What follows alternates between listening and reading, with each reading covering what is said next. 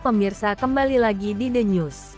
Koperasi Pengayoman Pegawai Kementerian Hukum dan HAM mencatatkan aset saat ini mencapai 160 miliar rupiah. Peningkatan kualitas layanan dan pengembangan usaha terus dilakukan pengurus untuk meningkatkan kesejahteraan anggota. Bukan hal mudah bagi Koperasi Konsumen Pengayoman Pegawai Kementerian Hukum dan HAM untuk keluar dari masa-masa sulit belum selesai melunasi utang ke bank yang menggunung.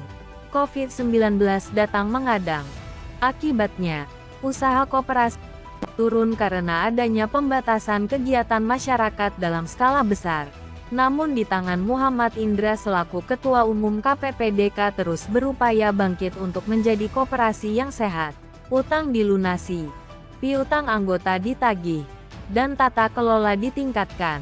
Alhasil, Koperasi di lingkungan Kementerian Hukum dan HAM itu mampu mengatasi tantangan dan mendapatkan dukungan anggota.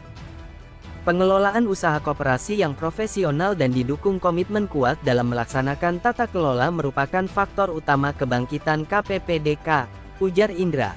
Selain usaha simpan pinjam, KPPDK memiliki beragam bisnis lain meliputi pengelolaan SPBU, kerjasama dengan CFC, properti, tour and travel, dan usaha lainnya. Usaha tersebut ada yang dikelola sendiri oleh KPPDK, ada pula yang dijalankan oleh anak usaha. Dari bisnis yang dijalankan tersebut, kini aset KPPDK mencapai 160 miliar rupiah. Usaha simpan pinjam salah satu unit unggulan karena memberi dampak langsung pada peningkatan kesejahteraan anggota. KPPDK memberikan plafon maksimal sebesar 200 juta rupiah dengan jasa pinjaman sebesar 7% per tahun agar tidak membebani anggota. Pada akhir tahun lalu, penyaluran pinjaman sebesar 10,77 miliar rupiah dengan 83 anggota peminjam.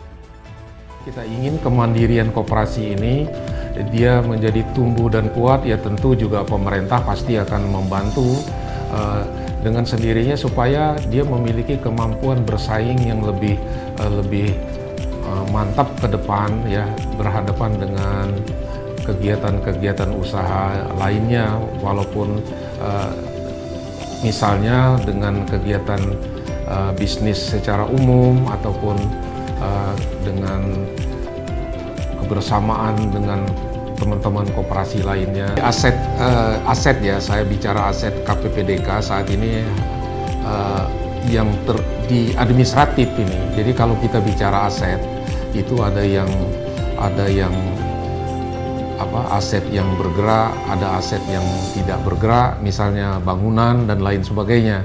Kalau kalau berbicara dari uh, tahun perolehan dan dari uh, dari mulai uh, nilai perolehan itu sampai saat ini 126 miliar.